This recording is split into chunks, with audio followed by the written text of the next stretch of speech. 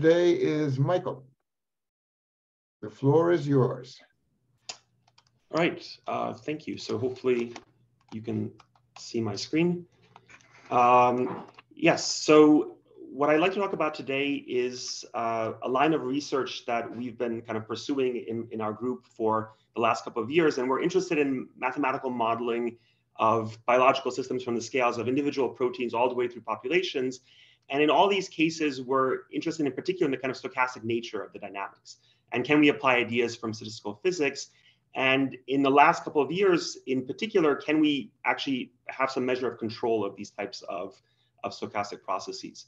So what I'll describe today is essentially two stories, uh, one of which is kind of controlling on the kind of larger scale, so popula entire populations of, of organisms, and the other is uh, control on the level of individual proteins, so kind of bio, biochemical networks.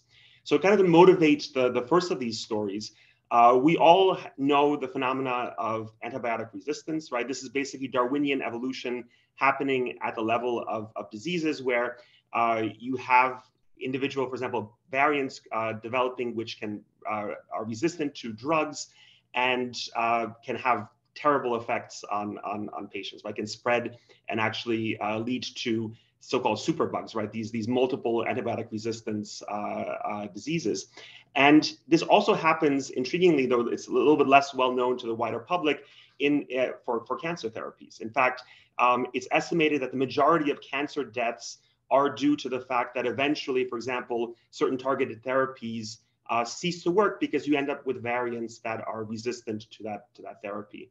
So this is a major problem in, in medicine, and people in, in the last couple of years are trying to essentially figure out ways of, of mitigating this problem. You can't turn it off completely. You can't make Darwinian evolution cease, but perhaps there are ways of steering evolution in directions that are you know, make the disease more treatable. Like if you know there's a particular variant that, and you have a particular drug that works for that variant really, really well, perhaps if you can take a mixed population and steer it towards a population with that particular variant, um, then you have a, a, methodology of treatment. But that kind of uh, begs the question of how do you do this steering in the first place? So we need to develop methods to kind of fundamentally understand how do you take a stochastic population, stochastic system, and control it and to arrive at a given destination in a finite time, right? Because we can't do this kind of quasi-statically because we need to do this at this at, on time levels of actual treatments.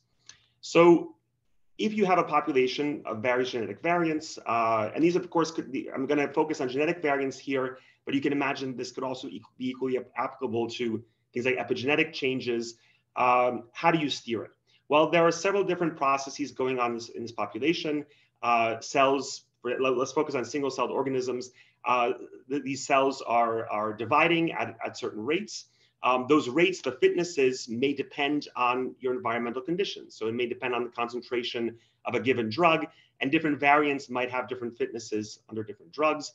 Cells die when, when cells uh, uh, replicate, they also can mutate, right? So you have a different a population of these various types and essentially from the perspective of control, your control knobs are your fitnesses which will be dependent on these on some control parameters. We're going to focus on drug concentrations. Um, this could be a single drug, which is the simplest case. It could be a cocktail of different drugs, but it could be a, a various other things as well, nutrients, environmental parameters, anything that basically can affect the fitness of your uh, uh, individual variants. So um, how do you describe such a, such a system? Well, we're going to, uh, throughout this, we're going to use actually ratios of these fitnesses. So we're going to choose one type to be kind of the reference type, we'll call it the wild type, and we'll have a ratio of the fitnesses to that uh, uh, wild type fitness minus one. We'll call that a selection coefficient. Um, and uh, what you end up doing eventually is building a mathematical model, which is quite familiar, and, and, and we've seen it in, in, many of the talks uh, in this conference, which is essentially a Fokker-Planck description of the system. So you have, if you have M types, you're going to define an m minus one dimensional vector. This is just a frac, you know, each component of the vector is the fraction of that type in the population. The last fraction, everything has to sum to one. So the last fraction, you don't need to keep track of. That's automatically uh, uh, known through normalization. And you end up with a multidimensional Fokker-Planck. Uh, and this equation essentially has two major components. There is this kind of uh, uh, velocity term, or, or, what we would call in StatMech the drift term, um, which consists of two uh, contributions. One comes from mutations. So there's a mutation matrix that describes possible transitions between the different types. It's kind of like a, essentially a, a transition matrix in, in, a, in a Markov system. And the other part is essentially the, the role of, of fitness. So this is where these selection coefficients Sj come into play. Each of them might depend on a time varying, for example, drug concentration. And then what translates selection coefficient into your velocity is this matrix G, um, which is given here. And that matrix is also proportional to the, your diffusion matrix and essentially captures the nature, the, the kind of randomness of, of the evolutionary process. So if you have finite populations, if your total population size n is quite small, you're going to have fairly large amount of randomness just because of finite, you know, uh, population sampling from generation to generation, right? And that's your that's your underlying model. And the question is, okay, you you you give some, you have some uh, uh, given system, you know the types, you know the fitnesses, you know how the fitnesses depend on drugs. You're going to get some kind of dynamics. Um, your probability distributions will change in time, but can we now shepherd those distributions over uh, a chosen trajectory? Um, and in particular, because uh, as, I'll, as I'll explain in, in, a couple of slides, we're going to be thinking about a, a methodology known as counterdiabatic driving, where we're trying to shepherd over trajectories that are you know, uh, equilibrium trajectories. We can imagine that associated with every single parameter, let's say drug concentration, there's going to be a given equilibrium distribution of our of our genotypes. So this would be this is for example in this cartoon a three type uh, uh, system. So you're we're basically living on a two dimensional probability simplex.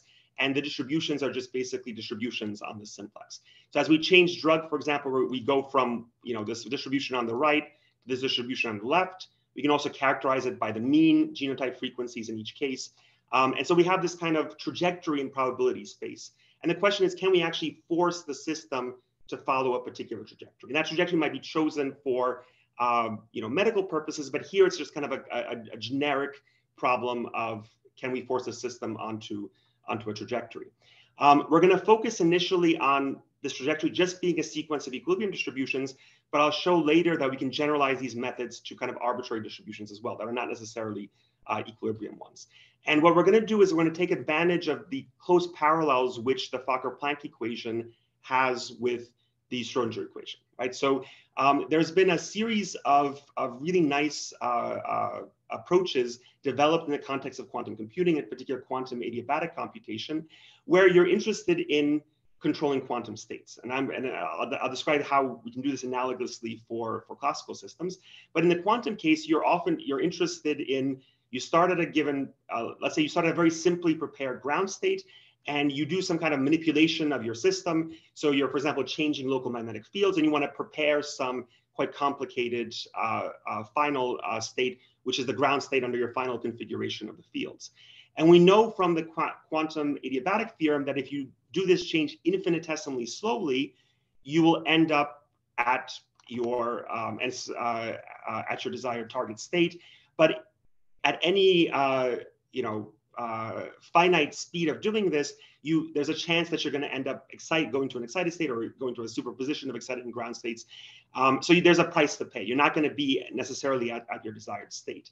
So in the early 2000s, uh, uh, a variety of researchers, um, including Berry, Demer, and Rice, developed a, a, kind of approach called counterdiabatic driving, where what you're essentially doing is adding an additional perturbation to your Hamiltonian in order to force the system to be in the ground state of your original system at all times, even if you're doing this at, at finite speeds, which is really nice from a computational perspective. You want to arrive at your answer in finite time. And in our case, you know, when we're manipulating these classical uh, biological systems, we also want to get at the desired uh, end goal in, in, in, a finite time.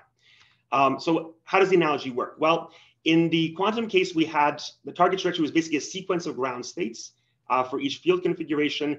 Here, we're going to be thinking about a sequence of equilibrium uh, genotype distributions. And the control protocol there was perhaps maybe a, uh, uh often it's a very complicated uh, perturbation, potentially non-local. Um, here, we're going to hope that our control protocol is somehow implementable in the system, and it's just going to essentially going to be a modified drug concentration over time. Um, that will allow us to basically hit this, this target trajectory. Um, and the, the, general prescription of doing this is, uh, is what we showed in, in, in, this first paper. Now, let me give you a, a, a concrete example. So this is going to be a, Uh, this was a system of, of, of, yeast that was actually developed to study anti-malarial uh, uh, drug resistance.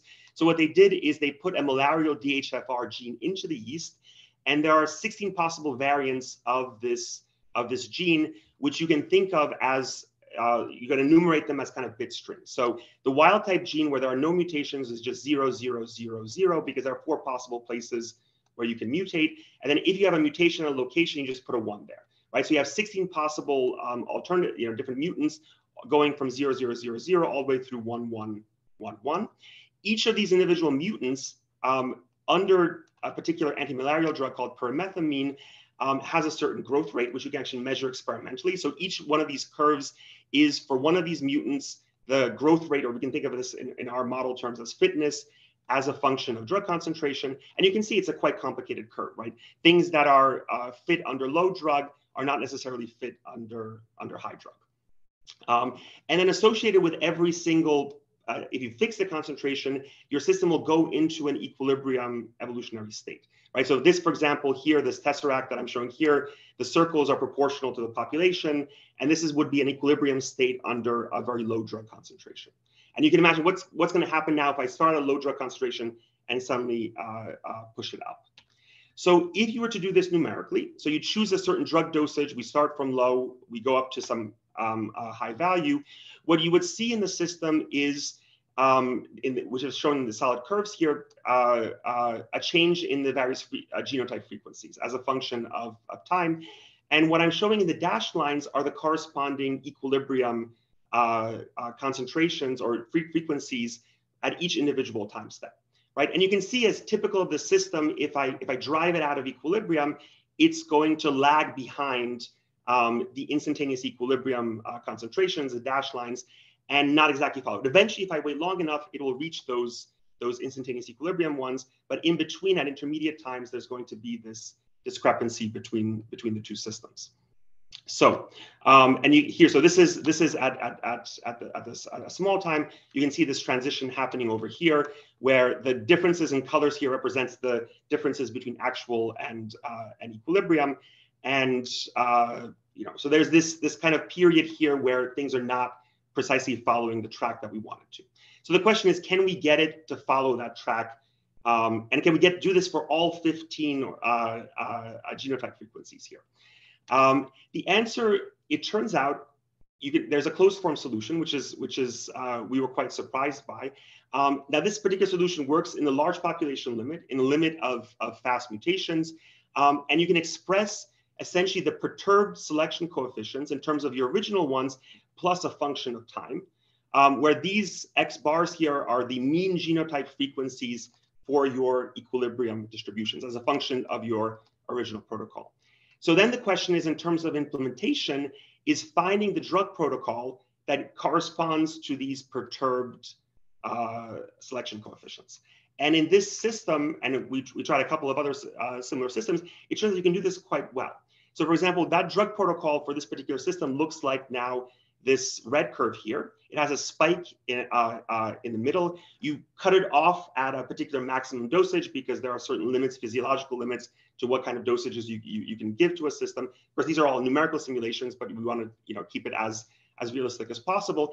And you can see that with this now modified drug protocol, you're following your instantaneous equilibrium curves quite well. And I've shown only the top four genotypes, but this actually holds true for, for, for all, all 15. Uh, so uh, you can actually implement these things, at least on a numerical level, um, in these types of, of, evolutionary systems. And what's also really nice about this system, this is all so far uh, uh, theoretical, um, is that this particular yeast system is something that is actually uh, um, has been developed in, in, in, experimental context. So we have a collaborator, Kerry Samerotte at Arizona State, who's working to directly implement these same kind of protocols. And we can actually see if we can you know, these numerically predicted uh, modified dosages, will they actually work as well in the uh, in the experimental context, right? So we're this is this is kind of ongoing work um, uh, as part of this collaboration. So everything that I described so far as kind of focused on, on, on, on, evolution, but these ideas are, are fairly general, right? So they don't necessarily, you know, essentially any stochastic biological system um, is potentially amenable to this to these types of counterdiabatic uh, control ideas. And so the, the second story that I'm going to tell you is going to be kind of focusing on the other on the other other scale of things. So looking at biochemical reaction networks. And here, rather than fitnesses, what we're changing essentially are concentrations of chemical species, and those concentrations influence transition rates in, in some kind of uh, uh, reaction network system. Now, I'll, this is a, in this particular system, I'll explain a little bit later, is essentially a system of, of for example, chaperones binding to, to proteins. Um, but in general, what we have as control knobs now are these external chemical concentrations and our control targets are going to be, can we shepherd the system through a set of, of, of a probability distribution, of system states and essentially a sequence of these probability distributions. Um, now, here we're going to kind of broaden our scope a little bit. So we focus primarily in the evolutionary case on just shepherding through uh, uh, equilibrium uh, uh concentrations. But what if we now, you know, are, are basically allow non-equilibrium uh, trajectories as well? And what if in some cases, we also are not interested in, in controlling every single state in the system. What if we only want to focus on a particular uh, subset of states and only control that, those, that, that subset? So um, we can then distinguish between local control, we're only controlling some of the, of, of, of the states versus global control. And we can also think about whether these trajectories necessarily have to be instantaneous stationary distributions. And it turns out that for this biochemical network system, for this discrete Markov uh, approach, um, you can find solutions to all of these uh, individual problems. But let's start with the traditional uh, problem, which is basically global control where your targets are uh, instantaneous stationary targets. Um, so what you're doing, I'm not going to go into the complete technical details here, but what you're effectively doing is you start with a Markov model for, you, for your system. You have transition uh, uh, matrices describing your, your rates. They depend on some kind of external parameters, lambda. And uh, you have an underlying master equation that describes the system. And then you have some target probability uh, trajectory vector. This is what you want the system to behave at uh, in a particular uh, time duration. And for the traditional problem, the counterdiabatic problem, this target probability trajectory is essentially a right eigenvector of your transition matrix um, because it's a, it's a stationary uh, uh, trajectory. And what you're essentially looking for is a modified transition matrix that where this row is now a solution to your master equation. So in effect, what you're doing is you're inverting the master equation. Normally you start with with omega and you and you and you try to find p here. We have the rho and we're trying to find an omega tilde that does this, this driving. And it turns out that um, using some of the you know kind of standard tools that have been applied for, for uh, you know to these Markovian systems, so graph theory ideas, um, you can come up with a general graphical algorithm to completely enumerate all possible solutions uh, uh, uh, to this inverse problem. And in fact, what's what's really interesting, at least to us, maybe it's you know in hindsight it's it's it's obvious, but uh, we were a little bit surprised when we first saw it, is that overall, this is, uh, uh, you know, you can have infinitely many such solutions, and many of them uh, can be actually physically realizable. And in particular, for graphs with loops, generically, you're going to have uh, infinitely uh, many solutions. Um, let me just give you an example of, of this in a very simple system that's well characterized. So this is a three-state biochemical network of a, a, repressor and a co-repressor binding to a gene um, and essentially turning it off. Um, this is from uh, this experimental study where we know all of the individual transition rates and how things depend on concentrations. You have three concentrations in the system, that of the repressor, the co-repressor, and they're complex when they, when they bind together. And you can set up a, uh, a, basic Markovian description where let's say you change concentrations of these things uh, uh over time. You have some associated equilibrium uh, uh, probabilities trajectory that you want to now have the target of the system, and you're interested in, okay, well, if I just directly apply this and I directly solve the, the mass equation, I'm going to get this characteristic lag. I'm not going to uh, follow the equilibrium trajectory, but now I can add a perturbation to the concentrations to basically get it exactly on target. This is one solution. For example, this is another solution. Both of these concentration profiles give you, give you exactly the same probability behavior. And in fact, there's an infinite family of such profiles that can be enumerated using, using our approach. And you can actually begin to do interesting things. You can ask, ask, begin to ask questions like, among all these individual concentration profiles that all hit the same target sequence, which is the one that minimizes entropy production at every single time step? Um, and so you can find an optimal, you know, this is entropy production as a function of time. You can find the trajectory that, that, that optimizes that. And so you have, for example, this concentration set of concentration profiles is optimal from that sense. And you can imagine other types of uh, objective functions that you want to optimize um, among this entire family of, of, of possible control solutions. And that's something that we're, we're also actively looking at what are the, what are the characteristics of these types of, of optimal solutions.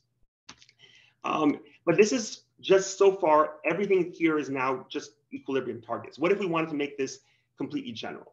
So the most general version that you can imagine here would be to say, okay, I don't necessarily want things to be in equilibrium um, or instantaneous equilibrium uh, at, at, all, at all time steps. And I'm only interested in maybe just a subset of these individual states. So let's say there are NT of these states that I want to control. And so I specify the functions row one through row NT of those states that I'm interested in controlling. And the other ones, the other probabilities can be arbitrary. We'll call those pi. And let's say in this problem, maybe there are only a subset of the individual edges in, in the network that I can actually uh, um, control, right? Because maybe I only have uh, a, finite number of chemical species that influence these, these edges. Um, so if we look at this, the network of, uh, in this case, it's a probability current network, um, I'm, and I'll the, in dark red are the ones, for example, that, that can be controlled, um, and light red are the ones that you have no influence over, right? So you have this finite subset of, of edges that are controllable. Um, and then the dark blue states are the ones that you're that you have particular functions that you want those states uh, to obey.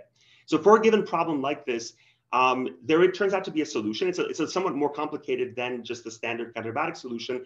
But um, what's what's nice there, there's a there's a fairly easy result that actually tells you if a solution is possible at all. Um, and this is um, what we call kind of a local control criterion. And in order to figure this out, what you do is essentially uh, construct target subgraphs. So for every single one of your uh, states that you're interested in controlling, you look at the subgraph of uh, other states that are connected via controllable edges, and you enumerate those subgraphs, right? So you, you construct all those subgraphs uh, uh, for your given network. And the criterion states that local control is possible if every single such target subgraph has at least one non, non-target state, right? Um, and one particular consequence of this is, for example, if, if your number of edges that you're that you uh, that you are available for control is smaller than the number of states that you are trying to control, that's uh, it's it's going to be impossible. Um, uh, but this is essentially a, a, nice criterion where even without doing a, a calculations, you can immediately just uh, read off whether local control is possible. Um, so this, for example, this is another example. In this case, it would not be possible because this target state that you're interested in controlling, the target subgraph just has no non, non-target uh, states in it.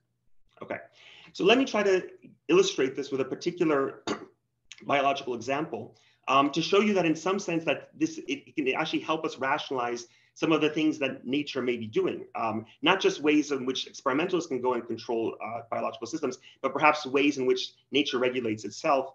Um, and this is the example of, of chaperone-assisted uh, protein folding. Um, so proteins uh, tend to misfold um, uh, with some small probability, um, but this could be actually major problems uh, for cells if these, if these misfolded proteins end up aggregating. Um, and this, this tendency is actually exacerbated when you go to higher and higher temperatures. Um, so what you need essentially is a way to, to solve, you know, to basically fix this problem. Um, and this is, uh, the, the, one way of doing this is essentially through chaperone proteins. What these proteins do is basically bind to misfolded proteins and uh, uh, catalyze their unfolding, perhaps into an intermediate state, perhaps into a native state, but essentially allows you a, another chance to fold, fold correctly.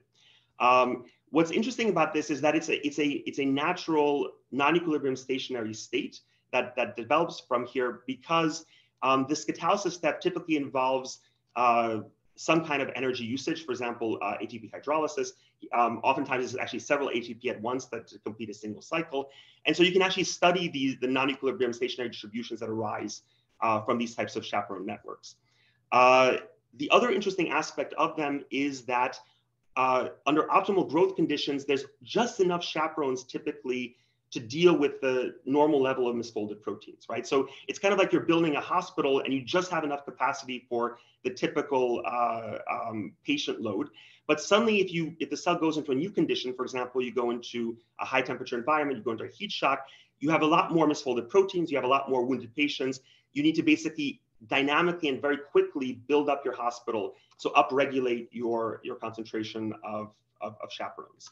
Um, and this is what happens. Uh, experimentally, if you look at, uh, this is examples from two different organisms, from yeast and E. coli, um, you essentially, in the minutes after the start of your heat shock, so this is a yeast, for example, subjected to 39 degree heat shock.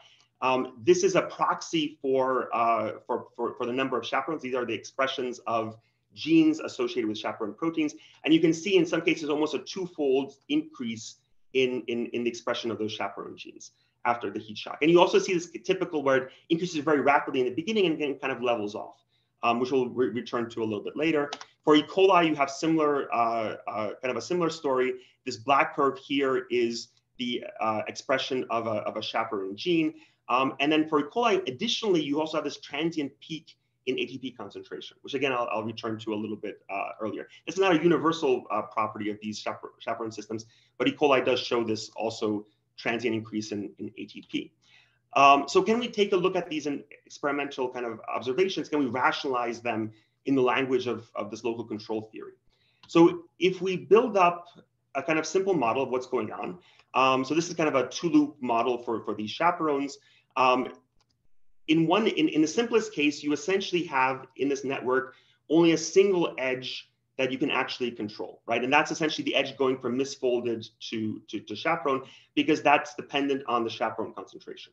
So if you have such an edge, what can you do with this type of system? So you write it as a four-state Markov model.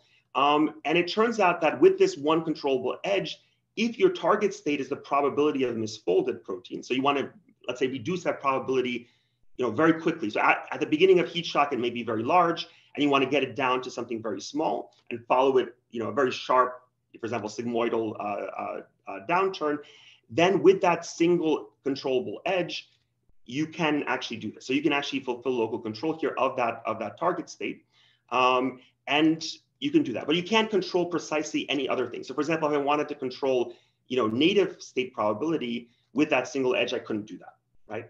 Um, so in this type of, with these types of control knobs, you can get rid of misfolded proteins, but you don't, can't necessarily arbitrarily quickly make an increase in the rise uh, in, the, in the probability of, of native proteins. Um, what about for the E. coli case? Let's say you have control of both chaperone concentration, you can upregulate that, and you can also change ATP concentration. Well, that gives you actually now two controllable edges. And now you can have actually two target states. Um, so you can control both the misfolded probability and the probability of the misfolded binding to the, the chaperone. Why would you want to do that? Well, in the previous case, um, because you didn't control this probability number two, you actually get a transient accumulation of chaperone um, uh, on the misfolded proteins. But let's say you want to reuse these as quickly as possible. So you want to get rid of that, that transient uh, accumulation. Well, now if you have the second control uh, uh knob, you can actually get rid of that, that, that, that, that hump. So you can actually control both states one and two uh, uh, directly. So it allows you basically to reuse, to recycle these, these, these chaperones as quickly as possible um, uh, in this process. Right, so this is not a, you know, this is not a direct quantitative uh, one-to-one -one mapping to these uh, to these networks because the underlying networks are, are, a bit more complicated than a simple example, but it does illustrate, you know, that some of these ideas in some sense in a qualitative way um, can help us understand how nature potentially regulates itself. Uh, so these, again, like I said, these ideas are fairly general. So we're working on ways to extend it to things like developmental biology, um, uh, to ecology. Uh, but where I wanted to kind of leave off at is the, the kind of a, the challenge uh, going forward in trying to kind of translate these kind of uh, control ideas um, from the kind of quantum context into, into the classical one. Um, everything I described to you so far really depends on a detailed information about, uh, about fitnesses um, in the evolutionary case or about the underlying Markovian networks uh, uh, in the biochemical case. Um, what can we do in the absence of detailed fitness information? Because oftentimes it's actually very laborious. Like the experiments to set up and actually measure all of these individual growth rates versus concentration, this is actually a fairly uh, um, uh, time-consuming uh, series of experiments. And this is just for four, you know, four possible mutations. It becomes combinatorially really hard to do this for much more complicated systems. Um, so one potential solution would be to, instead of trying to control the entire distribution of, of, of uh, genotypes or system states, perhaps focus on you know means of those kind of macro. You know, in the quantum context, this is something like macro state versus uh, microstate control. So you're trying to you have less control of the system, but perhaps it's it's more easy to implement. And the other thing that we're that, that we're looking at is using um, techniques from machine learning, for example, reinforcement learning, things like that, to dynamically learn underlying fitness models that will enable this type of, of, of control, right? When, when we have uh, uh, imperfect information. So we basically may start with a system, we give it uh, you know, small perturbations, small changes in, in drug, and from the response of the system to those drug changes, learn its fitness landscape, and then uh, uh, uh, try to then control the system from that point. Um, with that, um, I thank my collaborators on, on, the, on this project, and I'm happy to take questions. Okay, uh, thank you very, very much, Michael. Um, if there's anybody else with questions, if you could please raise your hand. Um, in the meantime, we have two in the chat. The very first one was from uh, Megan Engel. Uh, Megan, if you're there, do you want to um, unmute and um, uh, videoize yourself, whatever the word would be, and ask your question. Sure. Yeah, it was just a just a little thing. Um, you may have mentioned it. Thanks for the talk, by the way. This was so cool. Um, yeah, so you may have, might have mentioned it, but what was the motivation, kind of medically, biologically, for trying to maintain those yeast gene? I think it was yeast. I can't remember the one where there were sixteen different uh, mm-hmm mutations. What's the motivation for wanting to maintain them in their equilibrium distribution? Because it seemed like at the very end they got there anyway, whether or not they lagged.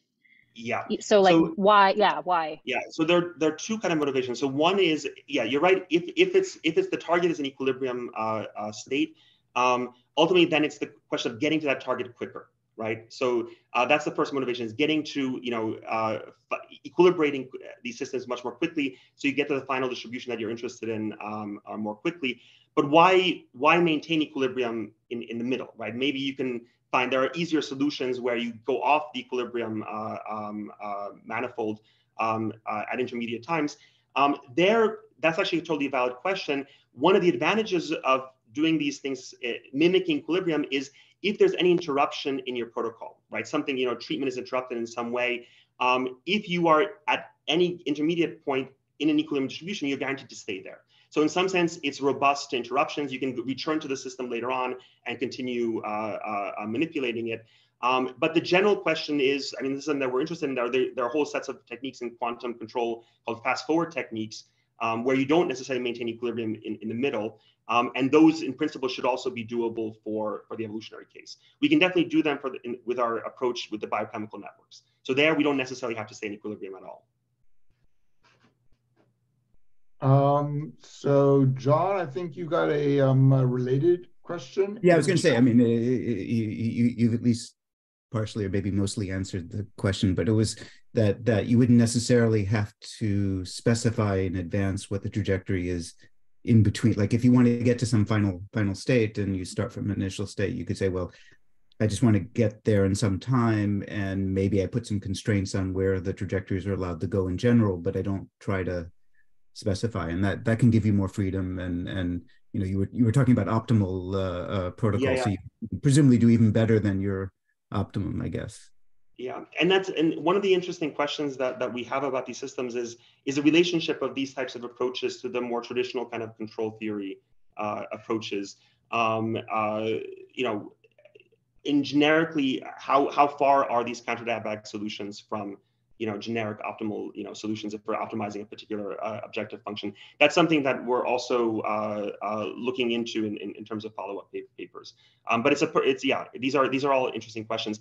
At, at, some level, we we we took the we started with the lowest hanging fruit because when the the the the trajectory is specified and when it's in this, this instantaneous equilibrium, you can actually have these really nice closed form solutions for, for the control protocol, even in these very high dimensional cases.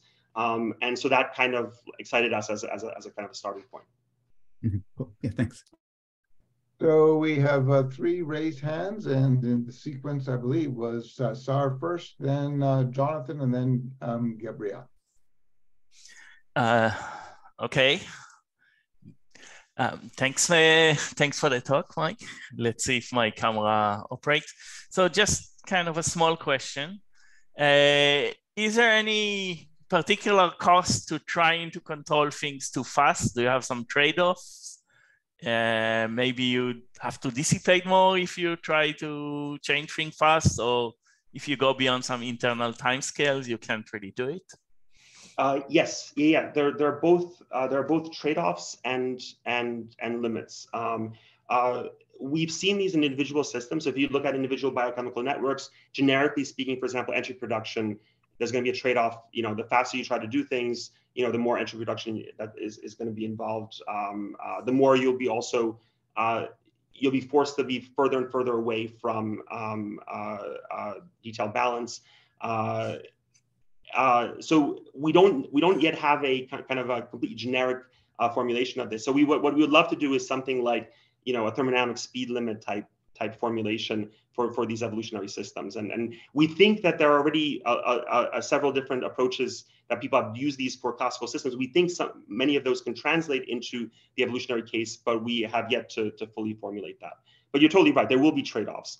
Um, things, so in terms of like, for example, uh, one of the most interesting ones medically would be uh, drug uh, uh, uh, dosage. So oftentimes you look at what, what they call area under the curve. So you're basically integrating your drug concentration over the duration of, of, of the protocol. And let's say you want to go faster, presumably you're going to have to have larger overall drug dosages. And that's gonna, there's gonna be a fundamental limit there because um, you're not allowed to, for example, give delta function uh, drug dosages to patients, um, generally frowned upon. Uh, uh, and uh, and there will also be limits, as you said, fundamentally because certain rates may be not controllable and may basically set kind of be rate limiting steps overall in in, in your in your system. Um, all of these things in terms of the general formulation, I think are really interesting questions. Thank you. Jonathan, you're up now. Uh, uh, hi, Michael. Th thank you so much for the great talk. Um, near near the end, you were saying one of the it's you know you're saying one of the big drawbacks is just the the need to know a lot of the actual rates of the underlying model you, you want to deal with and sometimes that's just very hard to to get. Um it, is there is, is is there any thoughts on doing any sort of like entropic inference like maximum entropy methods where you have just some information about the whole model, but you don't have all the information. And so then you just try to use sort of maximum entropy to, to, to fill in the information that you don't have to the best of your ability?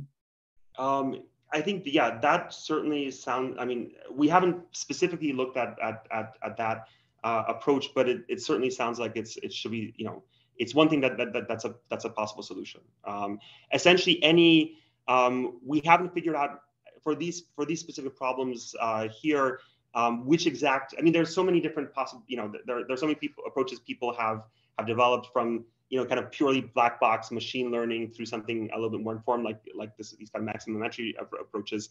Uh, we haven't yet figured out what's the most practically uh, uh, useful or or successful one of these, but this is something that that we're working on. Thank you very much. Okay, and then to finish off today's um, WASP, you're up, Gabriel. Yes, um, thank you for this nice talk. Um, you mentioned at the end uh, that you planning to use a machine learning technique like reinforcement learning. Could you give more details about that? Um, yeah, so you can imagine uh, you can imagine this almost like playing a game, right? So let's say, and, and this is actually going to be quite relevant um, uh, if, if you know this is at this level, this is all of course still pure theory, but let's imagine some kind of blue sky future um, where you are trying to do this kind of individually cater a therapy to a patient. So a patient walks in your door, that patient, even if you know the average you know behavior of, of, of, of a populate of a population in terms of that particular disease, um, each individual patient is its own environment and will have its own or, or his or her own uh, kind of un underlying fitness landscape. Now, you're not going to go and measure these growth rates of various, you know, uh, disease variants in the patient's environment. That's impossible, right? All you can do is essentially give the patient a pill. And, and, and then maybe you know through biopsy or some or, or, or some kind of like over time uh, have individual uh, data points where you're measuring the response of the, of the patient uh, to that pill. So um, a biopsy may give you essentially uh, a distribution of possible types. Um, you give the pill, you give, so say a small drug concentration, a week, two weeks later, you again measure the distribution of types, you see how it's changed. From that single time step, you make the best, you, you kind of try to infer the, the best model. And that might be like, like the previous question through some kind of like uh, parsimony in terms of like entropy ma maximization. Um, or you can imagine just giving this to like, like a machine learning, like a reinforcement learning algorithm, um, just the way like machines can learn how to play Go or chess without even knowing the rules beforehand. Um, essentially, the, the, the, machine the machine is learning the rules, which are the fitness landscape as it, as it goes along. Um, so for that single time step, maybe it builds a very uh, bad model, and now you give a you know, but and you then perturb it again. You give you, you increase maybe the dosage, or you switch drug. Um, and now you have two time you have two time points that you that, that you've measured. And so gradually you get you build a better and better model. The, the machine is able to infer more and more about the landscape, and then hopefully does that fast enough to get a good control algorithm going to get you the target um, before bad things happen. For example, patient dies. Um, so that would be in some sense the a, a kind of the, the rough picture of what this would look like. But it's it's an interesting problem because it's not like teaching like a, a self-driving car uh, where you, you're allowed to basically run a thousand different trials and the car goes off the cliff, right? This is learning, you it's like one-shot learning where you have to you have to succeed for this patient. You can't, you don't have an ensemble of a thousand patients uh, to, to work with where you can kill off half of them. Um, so it's a it's it's an it's an interesting kind of learning problem. Okay, thank you. Okay, well, thank you, everybody. If uh, anybody for any of today's talks has more um, questions that occur to them, then uh, you can get the email addresses of people. Um, uh, confirm agreeing with SAR, seconding his sentiment. And um, uh, see everybody tomorrow then, I guess. Bye.